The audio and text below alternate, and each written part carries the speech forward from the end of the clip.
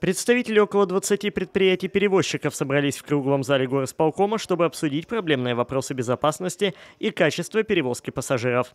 Для организаторов диалога, а это Межрегиональная ассоциация перевозчиков, главное выработать дорожную карту, улучшив ситуацию для всех заинтересованных сторон. Основной вопрос, который мы поднимаем на сегодняшний день, это повышение безопасности на рынке пассажирских перевозок. А на сегодняшний день в Республике Беларусь все-таки автомобильные перевозки занимают лидирующую позицию. И э, они оказываются источником повышенной опасности, в связи с чем ему нужно уделять таким перевозкам больше внимания и больше тем поднимать для рассмотрения. В первую очередь для пассажиров важна безопасность и комфорт в дороге. За соблюдением требований безопасности следит госавтоинспекция. С начала текущего года на территории Брестской области с участием водителей автобусов и маршрутных транспортных средств уже зарегистрировано 4 дорожно-транспортных происшествия, в результате которых 4 человека получили травмы различной степени тяжести.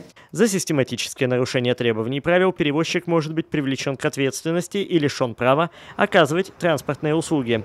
Контроль за этим ведется. Создана комиссия по безопасности автомобильных перевозок пассажиров. Эта комиссия работает как в городе Бресте, так она работает и по маршрутам, э, которые идут по пригородным направлениям, междугородним внутриобластным и междугородным межобластным направлениям. Если анализировать по тем нарушениям, которые в настоящий момент имеются, и основное количество, говорить процентного соотношения, это, конечно, вопросы превышения скоростного режима, это вопросы и не пристегивание ремней безопасности. Некоторые перевозчики сетуют на отсутствие жесткости наказаний за нарушения. Вы говорите, что есть проблема с перегрузом. Но вы же сами сделали так, что на первый раз вы за это грубейшее нарушение даете предупреждение водителю. Хорошо, на первый раз дали предупреждение, но второй должен раз дать штраф 10 базов. Но с другой стороны, сетующие тут же поправляются. Нельзя терять кадры и слишком жестко наказывать. Как было отмечено, общее число частных перевозчиков неуклонно снижается. По сравнению с 2018 годом с 420 до 360 единиц подвижного состава. Были озвучены и другие проблемы, например, разъезд на остановках. Бульвар космонавтов, вы говорите, вам маршрутки все время закрывают автобусы. Я обратно. Опять же, бульвар космонавтов, остановка университета. Тоже недавно была реконструкция, абсолютно недавно. Почему эту остановку сделали прямо вот, пешеходной и сразу остановка? Бульвар космонавтов, где 100 автобусов и 15 маршрутов ходит. Ну это я так. Как на эту остановку попасть?